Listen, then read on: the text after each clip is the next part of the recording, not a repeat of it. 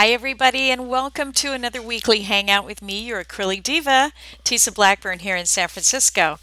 Today, we're going to uh, do part two of how to build an abstract painting from the ground up. And we're looking at fiber paste as our surface. So before I get started, I'll just check and see if there are any questions right off the bat in the uh, chat room. Hi, Frida. How you doing? It's good to see you there. I am going to go right to the overhead camera and then I'm going to do a few things and come back to the chat box while some things dry. So if you have questions or anything, just pop them into the chat box and I will get over there just in a minute. First things first, though, let's jump to our overhead camera and take a look at what we're going to be working on today. This is what we did last week. This was our fiber paste surface that we put down and um, we put a little paint down and let it dry. So you can see the difference here. It looks a little bit desaturated from what it did last week, but that's because we had a lot of water in the paint and not um, much pigment. So we're going to use this as our background. We're going to play with that on top of that. But before we do that, I want to show you how to put down a fiber paste surface. And um, I neglected to do that the first time out because uh, I, I wanted to get that color down. So let me get the fiber paste surface down for you so you can see what we're working on. This is the fiber paste from Golden. You know, and once again, I want to make sure you guys, I'll just talk to the camera here for a quick second. I just want to make sure you guys know that you can use anything you like. I use Golden products because that's what I know best, but by all means, if there's something out there that you love and you want to use it, go right ahead, okay? But I'll be talking about Golden mostly because that's what I use and that's what I know, okay? All right, back to the program. Here we go. Um, so this is fiber paste from Golden, and I am going to find my palette knife which seems to have gone on vacation. Why do my palette knives do that? Every time I need a palette knife, it's on vacation. Um, hold on a sec, guys. This never happens unless I'm doing a live broadcast. It never happens any other time. All right, I'm going to put some music on for a quick second because I really need my palette knife to show you guys this. I'll be right back.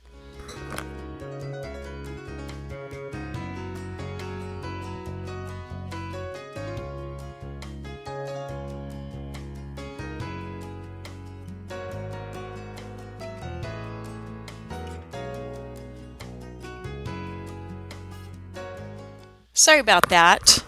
The palette, the missing palette knife was found. okay, so what I've got is the fiber paste and I want to put that down on my surface and the, the whole purpose of me using fiber paste on the surface is so that I can get this surface that looks like watercolor paper. So see how textured that is? It's very rough it has the feel of a very rough watercolor paper and I'm doing that for a reason. I want to get these background colors down and I don't want it to take days and days for them to dry. So I can get these background colors down pretty quickly and they will dry and then I can proceed to the next layer you know, pretty soon. So because I work in multiple layers, it's important for me to get these down and get going. So that's why I use the fiber paste. I also like the way that it allows me to blend the colors with a lot of water and get these very soft edges and things like that, okay? So that's the fiber paste and the reason I use it. This is basically how you put it down. So I'm just putting it right down with my palette knife and you can see the texture that it creates there. Now, there's a number of things you can do, a couple of things you can do to lessen the texture if you don't want it quite so textural. I personally love the texture, so I leave it that way. But if you want it to be a little bit smoother, put the fiber paste down and then dip your knife in water just get your knife nice and wet. And then you can come back and smooth it out if your knife is clean. if your knife has something sticky on it, it, it has to, uh, it'll make a texture. But if your knife is clean, oh, for heaven's sakes, get that off of there. Okay, if your knife is clean, we'll just edit that part out later. The magic of video, right? Let's try it again. If your knife is clean and it has nothing stuck to it, you can smooth out that texture. You can get pretty smooth, okay? So if you want it to be a lot less textural, just wet your knife and smooth it that way. I actually like the texture. The other thing you can do is um, you can mix the uh, fiber paste with a little bit of distilled water and make what we would call a slurry. I, I guess that's the common term. Something that kind of has the consistency of a gravy, if you will. I'm going to put a little bit of water out here and make a tiny one right to the side. Ordinarily, if I were doing this, I would be mixing it, pre-mix it, get a nice consistent mixture before I did this. But I just wanted to show you how you could do that with a little bit of water. Make sure you use distilled water. And see how smooth I can get that? Very smooth, very, very smooth. I'm going to hold that up to the camera. So you can really vary the uh, textural surface here. I can get that pretty doggone smooth. As a matter of fact, can you even see that texture? I'll flip it to the side there. So see this heavy texture over here? I'll put them side by side so you can kind of see what I mean. So I've got the heavy texture here. Just almost like a piece of watercolor paper. Sort of like watercolor paper in a jar, you know? Heavy texture, much lighter texture mixed with distilled water. And then if I like that heavy texture but I just want to smooth it slightly, take my blade or my knife and just wet it and smooth it out. Lots of variation you can get there, okay? I hope that helps with the fiber paste when you're working with it. Have fun with it because I I got to tell you, I love this stuff. I love me some fiber paste. Okay, so back to our project. Let me get my gooey painting out of the way. Back to our project here. We are working on a fiber paste background and we've used some of the fluids with a lot of water to get going there. Now let's take a look at the big painting that we are excuse me that we are deconstructing. So one thing to remember here is that this is, I can barely get this in the frame, it's quite large for this camera. Um, one thing to remember here is that you're looking at probably eight or ten layers of paint um, and polymer medium. So there's a, quite a bit of depth going on here that probably doesn't read that well on the camera. I'm going to tip it a little. See how glossy the surface is? And I don't know if you guys can get that or not, but there's a fair amount of depth going on there. The way that's created is layers of gloss medium in between the layers of paint. So you're not going to try and do this in one go. It's going to take several layers and I'm going to walk you through about three or four layers, okay? All right, so let's put this baby aside and we'll come back to our tiny one. And what we're also going to do is we're going to look at the idea of contrast. So contrast is always a really good tool to use when you're creating an abstract painting or, or any other painting for that matter. But what you want to do is make sure that you've got some really nice contrast going on and that will create interest in a good composition and so on. So I'm going to take some of the fluid paint. I'm going to start with some Quin Magenta. Big surprise there, right? Tesia without Quin Magenta? No, that's not going to happen. I I dream in Quin Magenta, y'all. Um, Quin Magenta, Hansa Yellow, and Phthalo Blue, my three mixing pigments, pretty much the only ones I ever really use. Well, that's not entirely true. I use other colors, but when I'm teaching and I'm, I'm demonstrating, I like to use these three because you can get a lot of bang for your buck and I don't have to carry lots of stuff with me. And this one dried up a little bit. Let me get that out. Okay, there we go. Little phthalo blue there. All right, now I'm going to take a small paintbrush, smallish paintbrush, And if you look at the big piece here, you'll notice that there are some painted elements here. There's some stencils back there. There's all kinds of stuff going on. So on this layer that we're starting, we're going to put in some small elements just, uh, just to get us started. And they don't have to be terribly um, discreet. In other words, they can be soft-edged. They don't have to be, um, you know, super perfect. We're just going to start with these subtle shapes. Let's fill that one in. We've still got a fair amount of, let's go to a little bit bigger brush. That one's a little too small. We still have a fair amount of fiber paste, so things can have water mixed, the paint can have still have water mixed into it. So you've got lots of room to maneuver there. So I've got a, a circle, how about some rectilinear types of things for contrast? So we're going to you know, build this little painting and it's going to be similar to the big painting. It's not going to be an exact copy because that wouldn't be any fun, but um, you'll get close. You'll get the idea.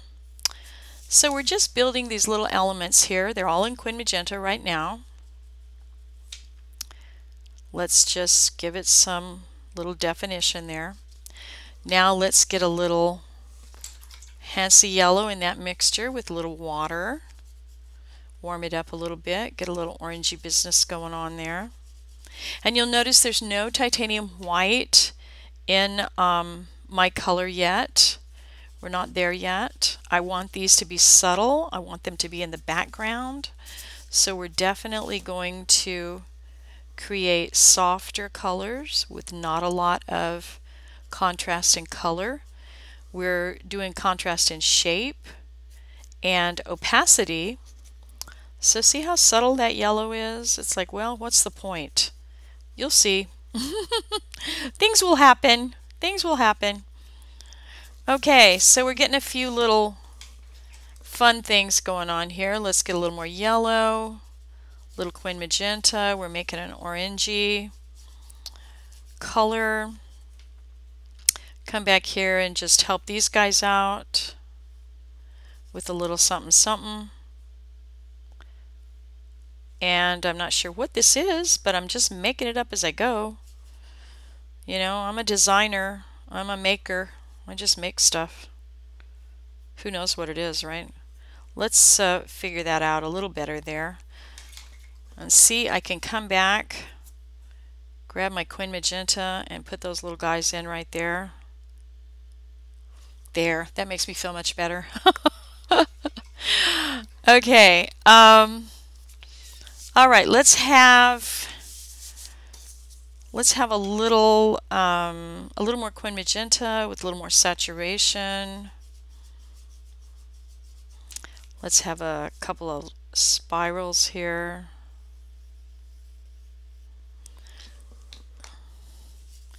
I want one of them to go off the page. And maybe a tiny one down here. Make sure you guys can see what I'm doing. Another one over here. Okay. All right, so that's it for that layer. That's all I'm going to do on that layer right now. Now it needs to dry before I can pour polymer medium on it. Uh, so while it is drying, it's going to take it a minute, and I might even put the hair dryer on it. Um, while it dries, I'm going to go over here and see if we have some questions in the chat room. Hi Sharon. Uh, you have the problem with your knives. You find usually find it right after I have improvised. right, your um, your knives run away while you're trying to do a demo. For yeah, you guys, if you only knew what this place looks like, I mean, golly, I, it's a wonder I can, I have socks that match. I don't know. Maybe they don't match. I'm not sure. Um, Frida wants to know why distilled water and not tap water. Well, the best uh, the best thing you can do. Let me get over here. The best thing you can do when you are working on something that has a lot of water in it, like the fiber paste, and you put a ton of water in it, like 50-50 water. Um, you want to make sure that you don't have any biological little guys in there that could potentially grow things like mold and whatnot. The potential is there. Is it likely? I'm not that positive, but um, just better idea to use distilled water, okay, rather than tap water, because you just you just never know, okay. Sharon wants to know how thick should you apply it. Um, the fiber paste, you probably want your fiber paste to not go down more than about a quarter of an inch. So that will help it maintain the drying rate properly so that when it dries it'll all dry uniformly and you won't have some bits that are dry and some bits that are wet so 1 8 to 1 4th of an inch is about right if you go much thicker than that then your drying times are going to be all wonky and the potential for the product to do different things that it's not really meant to do, like maybe crack or something like that, could happen. So if you have more questions about the thickness and stuff like that, go to goldenpaints.com. I'm going to go right here and put it in the chat.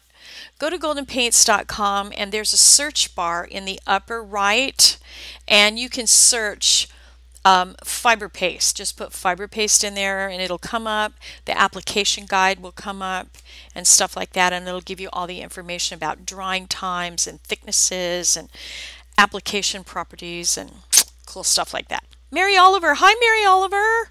How you doing? Was that layer that I just did directly over paint or medium? That layer that I just did, let's go back to the overhead. Since I'm pointing at things you can't see, right? What good is that going to do?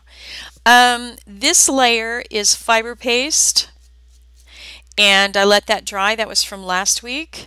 This layer is just fluid paint with water in it uh, and I'm just building up that second layer. So it's not dry yet. So once it dries, I'm going to pour polymer medium over it.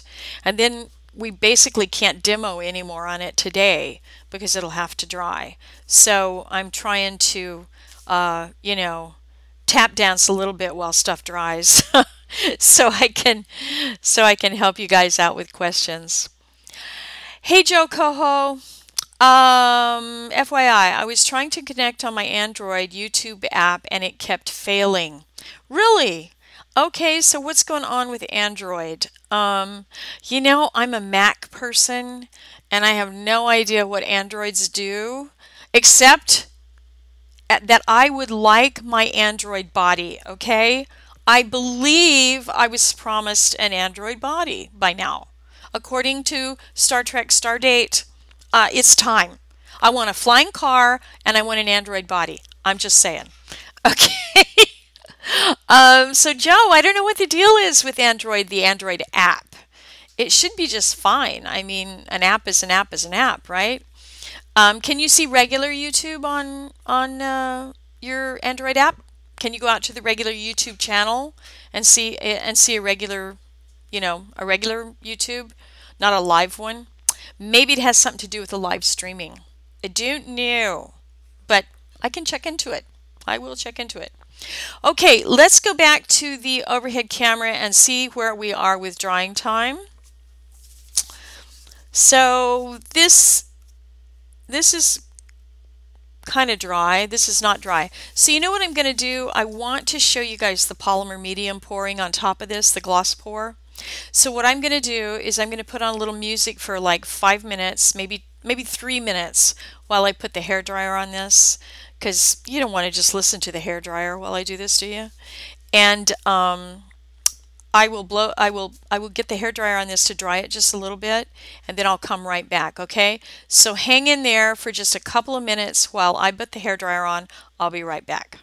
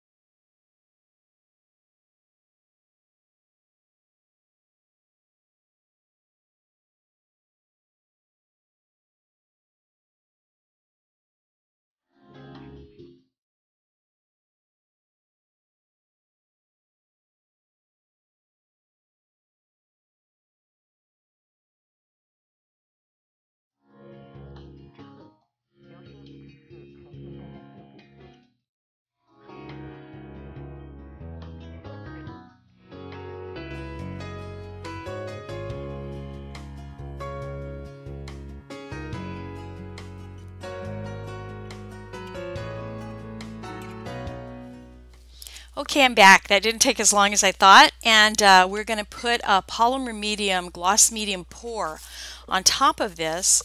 Um, I want to just bring out the big painting once again and go, let's go to the overhead camera so we can kind of talk a little bit about what we're going to do. so one of the things that gives these paintings their depth and their luminosity is the fact that they've got all of these layers of gloss medium. So you can see here some of the little details like this little spiral and this little uh, stencil work back here. It's going to be really soft like these, these that we have done here, because they're behind several layers of gloss medium. There's also some glaze color on top of them and things like that.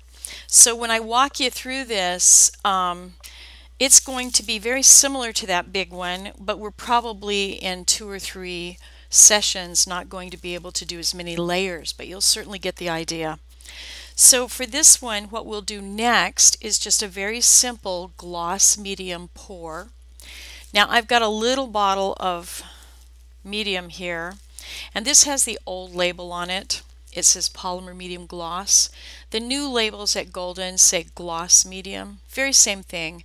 Anytime you use a medium or a gel that says gloss in the name, that means it's going to dry absolutely clear.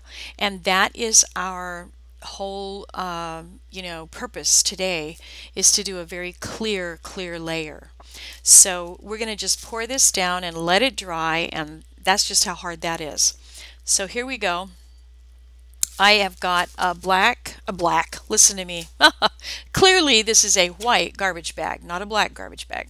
This is a white garbage bag and the reason I use those is because the polymer medium doesn't stick to them and I can pour on this, it won't go all over my table and um, when I'm finished I can pick this up and it won't stick to the surface and that kind of thing. It's pretty easy for cleanup. So that's the scoop on that. So let me uh, get over here and get situated. Um, I'm going to take my little jar. Now ordinarily when I'm pouring at the studio, and I'm in my little home studio so I can't be too messy, but when I'm pouring at the studio I have the big gallon containers of polymer medium and uh, I, I off pour them into a little cup. I never pour directly from the big container because there you go, you pour half a gallon out and you don't really need it. So I'm going to tip it slightly, just give it a little tip slightly like that. And I'm going to start up at the top. Let's go this way so I can kind of, you can kind of see what I'm doing. I'm going to start up at the top and I'm just going to pour like that. Ever so slowly and gently. Just pour like so.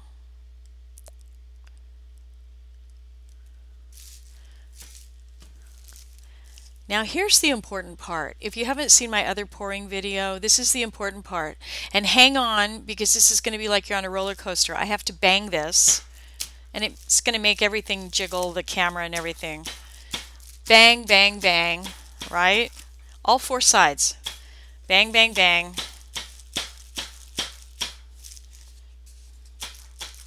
You should see me do this on a three foot canvas. It's pretty hilarious. Okay. Are you all dizzy now?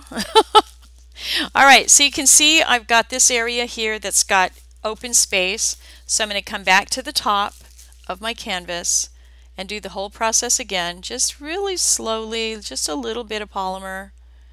Just pour it right there. You won't need as much this time because it's going to meet the other polymer halfway down. Same thing, bang. Get ready, guys.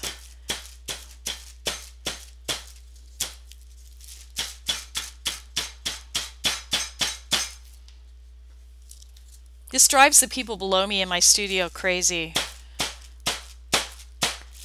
Because I'm banging, I'm banging like mad.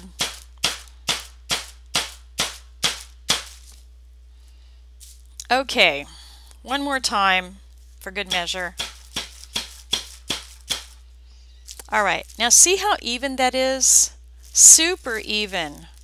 Take a look at that. It's just as slick as glass, baby. Look at that. Isn't that delicious? Mm. Ta-da! Okay. Now, that's it. I'm done. I'm done. I can go home now, right? Oh, I am home. Never mind. But I'm all gooey. So you guys, give me a minute to wipe my hands because I can't touch the computer just yet. So I'm going to wipe my hands off before I come back to the camera. Now, one thing, um, one thing I do want to point out here is it's not a bad idea to tip this up for a minute or two. Let's just tip it up. See, I'm putting some little fluids behind, um, beneath it. Just tip it up for just a minute just to see if you've got any excess on there. It'll roll down to the bottom and you'll get a super, super thin layer. Leave it like that for maybe uh, two or three minutes um, and then check and see. I can see that there's a little bit down here at the bottom. You probably can't see it. It's off camera. Um, that is just puddling up a little bit. And the reason I do that is I want this layer to be super thin. And the reason I want it super thin is that will prevent it from cracking. Anytime you get a big puddle of polymer medium, gloss medium, on the canvas and you inadvertently leave a big puddle, it could potentially crack. Now on this little tiny canvas, it's probably not going to do that because uh, the canvas is so small and I use such a small amount of polymer medium. But on big canvases, I'm going to flip this around now and do it the other way. See that excess that's coming off right here? That's excess that I don't need on the canvas. I'm going to tip it this way like so. And we'll just let it go for a minute or two. Um, on really big canvases, when you do this on really big canvases, you could actually cause the canvas to sag in the middle if you have too much polymer medium on it. So really err on the side of caution with these layers of polymer medium. Make them thin. Be patient and make them thin because if you try to make one big thick layer at one time, it can be a disaster. I've actually created disasters that way. And um, while this is doing that, let me wipe my hands and come back to the camera and talk to you for a second. Okay, there you go. I'm just getting one layer of polymer off my hands. Um, so actually you want to be pretty clear about the way you're doing that layer of polymer medium because if you're not, like I said, you make a big puddle and you can get into a real bad situation. Um, as you may know, I wrote an uh, uh, what do you call it? I wrote a column for Acrylic Artist magazine for a period of time, a year or two years, can't remember. And um, one time they asked me to write an article about one of my mistakes. Yikes. So I did. And what I uh, put in that article was about some, some gel layers and things that I had done I hurried, I didn't take my time, and I cracked some layers. It was a disaster. And it took me a very long time to get it all fixed up, but I did get it fixed up. So you can go over to Acrylic Artist Magazine. I think you can probably Google the article. Um, just I'm not sure what the title of the article is anymore. It's been a while, but just go, you know, Acrylic Artist Magazine plus Tesia Blackburn, and it'll it'll come up. You guys will get that. If you can't find it, let me know and I'll find it for you. Um, so that's a scoop on that. Make sure you do those layers thin. If you want to get that glossy surface, you know, you got to do those thin layers. So see where the polymer is here on the edge? I'm trying to show that to the camera. See that? That's what we're talking about. That those layers of polymer that drip off, and then um, you bang the canvas and all this other craziness, and that'll get you a really nice layer. Okay, let's see if we have any more questions. Joe doesn't know why it fails on Android, but you're watching you're watching one of the uploaded videos using Android. So maybe it has something to do with the live streaming. Yeah, has to do with live.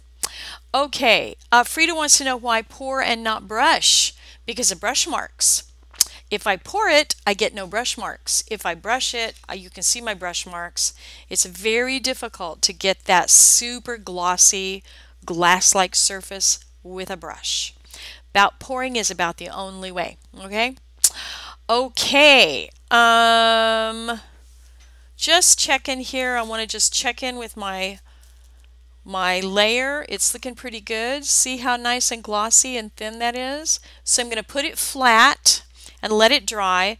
Now when I put them flat, I usually like to put them on, I will take four of the gel jars and I put them on one on each corner and let it dry. I don't want it to sit down in the um, polymer gloss in the gloss medium, like sit down on the plastic and stuff, because then it gets really weird little edges and things like that. So I just I just put it on four jars like that. Okay, make sure it's level. And I even go so far as to using a carpenter's level and check the level. Okay, because if you don't, it'll roll off the canvas and all your hard work will roll off with it.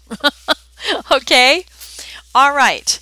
Any more questions for me? I'm gonna we're gonna wrap up the demo because that's all we can do today. That has to dry and then we'll come back next week with layer number three.